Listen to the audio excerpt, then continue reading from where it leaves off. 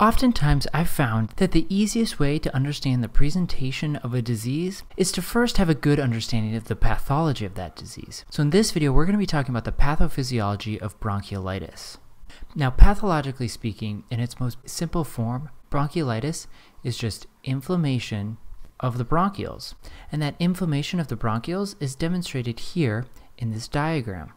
And bronchiolitis is a very common respiratory tract infection, especially in children under the age of two years old. And it's caused by viral infection. And the most common virus that causes bronchiolitis is RSV.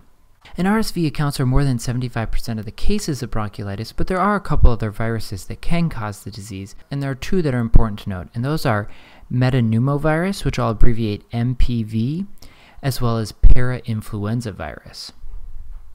So bronchiolitis really has two pathologic stages. It has the early stage, which affects the upper airway, and it has a later stage that affects the lower airway.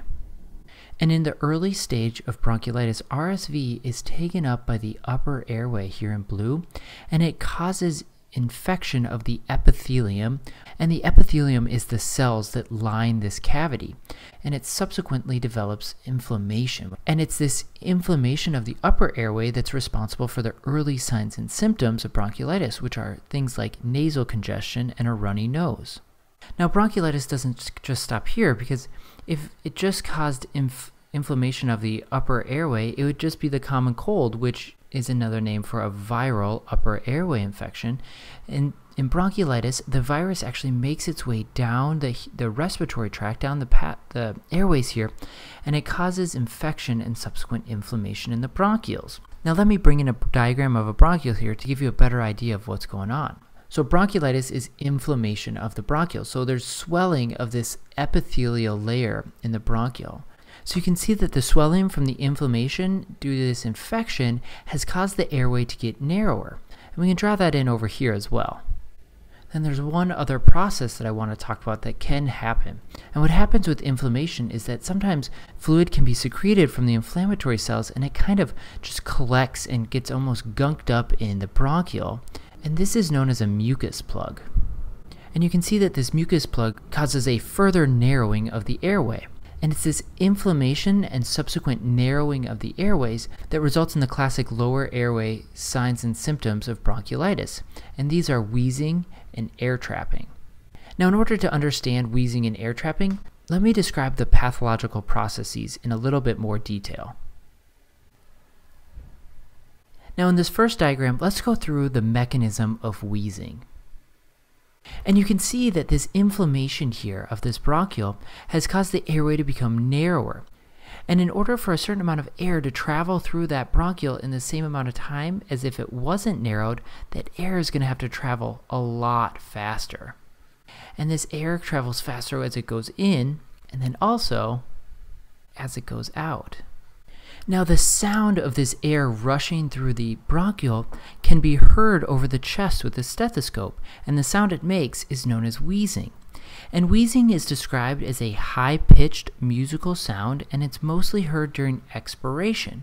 But what exactly does that sound like? Well, let me show you.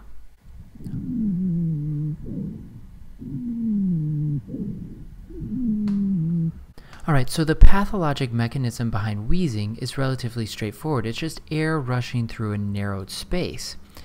But air trapping, another characteristic sign of bronchiolitis, is not quite so straightforward. Alright, so I mentioned that the epithelium of the bronchiole becomes inflamed and infected, and over time, some of these inflamed cells can die. let me just draw these in as kind of dying cells. And these dying cells actually fall back into the alveoli, and they just form this mass of dead tissue.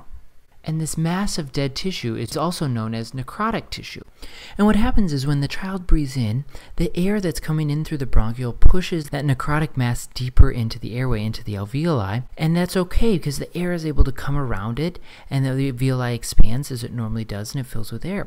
However, as soon as the child tries to breathe out, that necrotic mass is then pushed back up against the airway and it blocks the airway and the air isn't able to exit and so the alveoli stays enlarged. And then the child takes another breath in, and the same thing happens. The necrotic mass is pushed deeper away from the airway into the alveoli, and air enters the alveoli, and the alveoli starts to expand. And then the child tries to breathe out, and once again, the necrotic mass goes back and it plugs that airway. And so you can see that over time, this necrotic mass, in a sense, turns into a one way ball valve that causes air to enter the alveolus, but it can't get out, and it causes the alveolus to expand.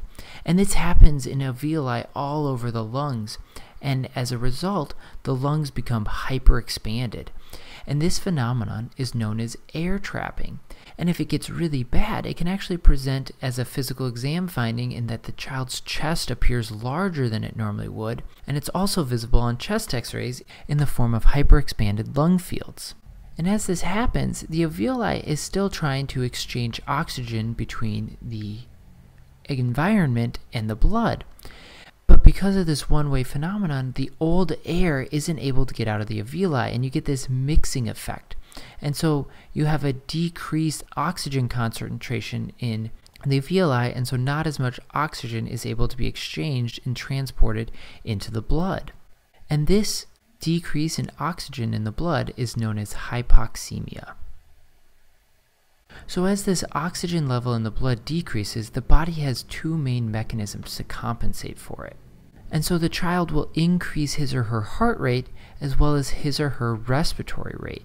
And this makes sense because if the blood has a decreased oxygen concentration, in order for the tissues to get the same amount of oxygen over the same amount of time, more blood has to go through that tissue, and so the heart rate is increased. And also, the respiratory rate is increased to try and get as much oxygen into the blood as possible. But unfortunately, increasing one's heart rate as well as one's respiratory rate consumes a lot of energy. And this increased utilization of energy may cause a child to become fatigued. And this combination of hypoxemia and fatigue is not a very good combination. And because of this, the brain actually starts to shut down different parts of the body in order to conserve the energy and oxygen it has for the most vital functions. And this process is known as lethargy. And so a child who's lethargic is not just fatigued and sleepy, they're also not really arousable. They're not, if you try and wake them up, they might kind of open their eyes, but they fall right back asleep. And any child that has one of these symptoms should probably be seen by a doctor because they may require treatment in the hospital.